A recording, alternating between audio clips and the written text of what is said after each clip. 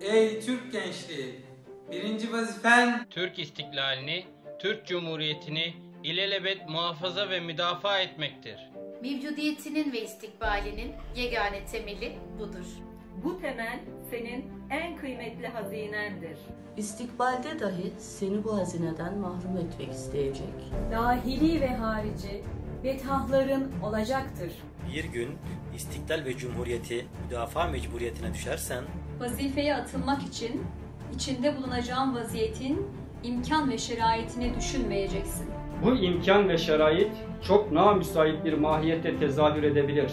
İstiklal ve cumhuriyetine kastedecek düşmanlar Bütün dünyada emsali görülmemiş bir galibiyetin mümessili olabilirler. Cebren ve hileyle aziz vatanın bütün kaleleri zapt edilmiş, Bütün tersanelerine girilmiş, bütün orduları dağıtılmış, ve memleketin her köşesi bil fiil işgal edilmiş olabilir. Bütün bu şeraitten daha elim ve daha vahim olmak üzere. Memleketin dahilinde iktidara sahip olanlar gaflet ve dalalet ve hatta hıyanet içinde bulunabilirler.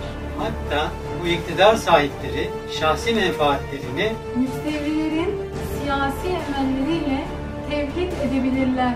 Millet fakr zaruret içerisinde harap ve bitap düşmüş olabilir. Ey Türk istikbalinin evladı! işte bu ahval ve şerait içinde dahi vazifen Türk istiklal ve cumhuriyetini kurtarmaktır. Muhtaç olduğun kudret damarlarındaki asil kanda mevcuttur.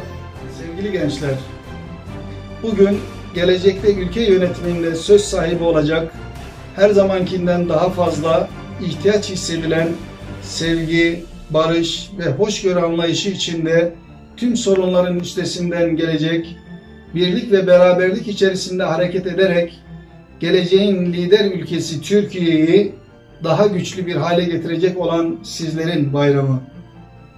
Biliyoruz ki sizler Türk milletinin geleceği, yarınlarımızın teminatlarısınız.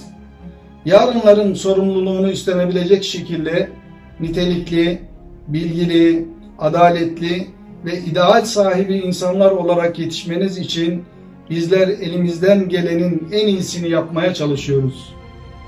Sizlerin de vatanını en çok seven, görevini en iyi yapandır sözünü rehber edinerek çok çalışıp ileride sizlere verilecek olan görevleri en iyi şekilde yapacağınızdan asla şüphemiz yoktur.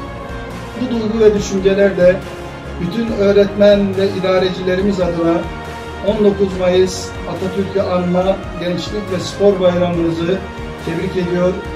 Başta Gazi Mustafa Kemal Atatürk olmak üzere tüm şehitlerimizi ve gazilerimizi rahmet ve saygıyla yad ediyoruz. Hepinizi sevgiyle, muhabbetle, hasretle selamlıyor, Allah'a emanet ediyorum. Allah yar ve yardımcınız olsun.